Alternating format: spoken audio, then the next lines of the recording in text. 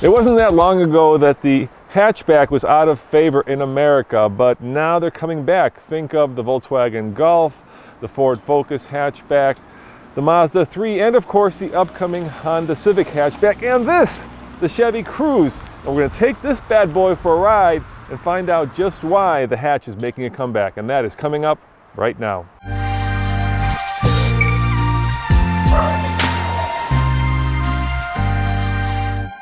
Under the hood, of course, it's a turbo. It's a 1.4 liter that puts out 153 horsepower and 177 pound-foot of torque. It is put in the car transversely so it powers the front wheels and it is mated to a six-speed automatic transmission. Now, this car is identical except for the hatch to the Cruze that I recently reviewed. You can watch that review by clicking up there.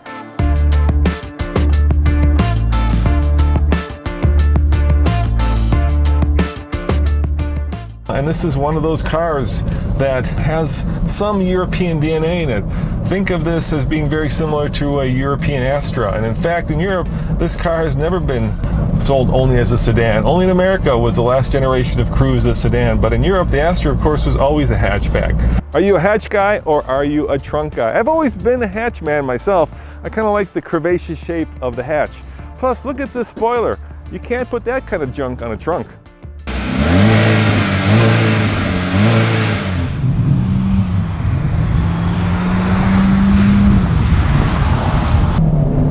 Come on, come on.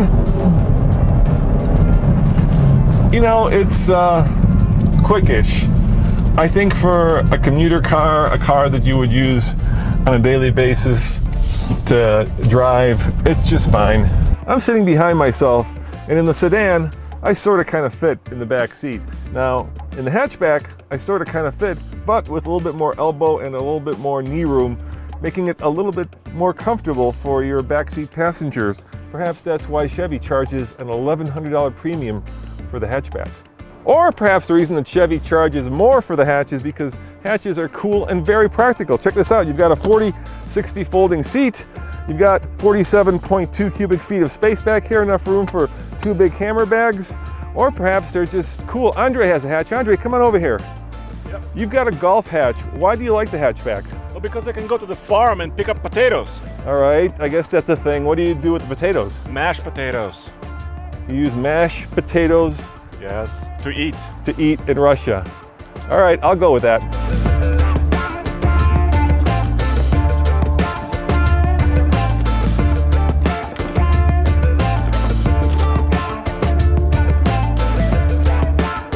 We've got the important numbers right here. 31 combined.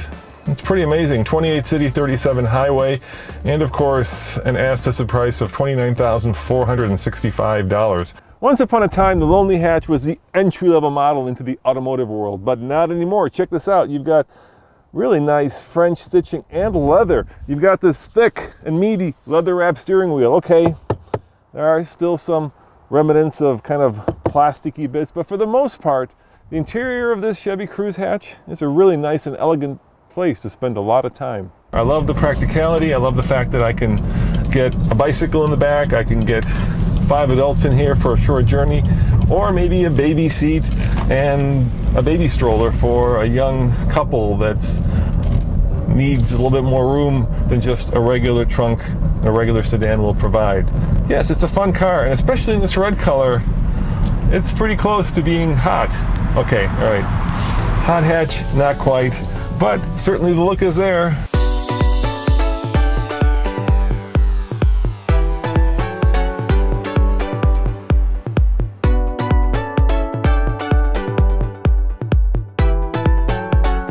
So why is this Cruze almost $30,000? Well, it's the premier model and it's stuffed full of both luxury and technology.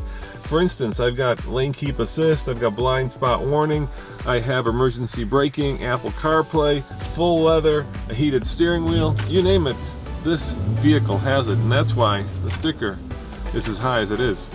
You know that hatches are back because at just under $30,000, this Chevy Cruze RS is certainly priced at a premium level, which means that Chevy is betting that you guys are willing to pay more for the convenience and the practicality and the coolness factor of a hatchback. As always, this is Roman reporting for the Fastlane Car. Check out tflcar.com for more news, views, and of course, real world reviews. And guys, thank you very much for taking the time to watch this review. And if you want to watch another video, well, click over there. We'll give you the Cruze sedan video to watch and down here to subscribe. See you next time. Ciao.